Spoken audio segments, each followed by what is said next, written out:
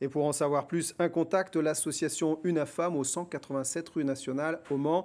Un téléphone le 02 43 40 44 53. La Sarthe est le mauvais élève de l'agriculture biologique. À peine 150 exploitants ont franchi le pas, dont les deux tiers sont adhérents au groupement des agriculteurs bio, le GAB 72. Ce dernier tenait son assemblée générale aujourd'hui. Première de nos trois questions à son président, Thierry Barré. Pourquoi aussi peu de surface agricole en bio?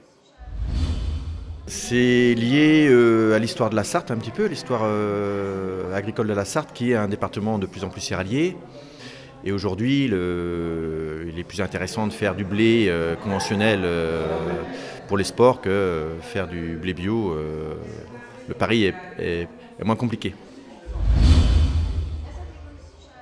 La recherche sur l'agriculture bio est quand même assez récente, elle date de 5-10 ans. Et on manque de références pour motiver un, certain nombre d'agriculteurs à, passer en bio. Euh, d'une façon plus, aisée.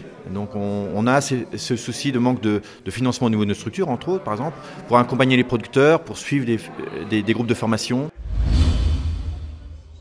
L'objectif est de créer une structure de production maraîchère bio, sartoise, euh, pour approvisionner l'ensemble, enfin un maximum de collectivités locales, donc essentiellement autour du monde dans un premier temps. Donc l'objectif c'est d'engager, euh, aujourd'hui il y a 13 producteurs qui vont s'engager pour 2013, pour approvisionner directement euh, des collèges, des lycées, des petites cantines euh, de primaire, donc avec un, objectif de partenariat entre production et consommation.